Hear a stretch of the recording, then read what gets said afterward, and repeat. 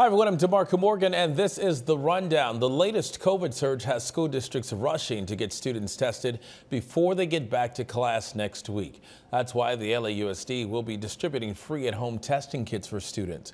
K through 12 students and parents can pick up at home tests at Grab and Goes, uh, th those sites there today and tomorrow rather. Uh, this latest COVID surge is also impacting local emergency rooms. Kaiser Downey says it's going on diversion because uh, they are overwhelmed with COVID and flu patients. That means no patients to the ER. They are also being sent to other hospitals and Kaiser says other facilities will be open but could possibly go on a diversion as well. A new drive-through COVID testing site is opening at Pierce College in Woodland Hills today. The site will be open from 10 a.m. to 4 p.m. Tuesday through Sunday. Appointments are required to get tested.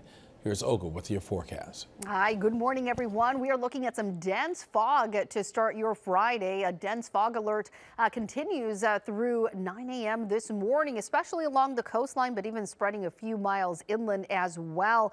As we head into late morning and the afternoon hours, uh, yes, a little bit more sunshine, uh, but definitely that cooling trend is going to stick with us as we have some rain to our north as well as some snow. We will feel it in terms of uh, some cooler temperatures as well as some more more cloud cover continuing through tomorrow, then slightly warmer on Sunday as weak high pressure starts to build in. And we have some 70s back in the forecast for some of our valleys as well as the Inland Empire. Slightly cooler on Monday before warming things up once again as we head into the middle of next week.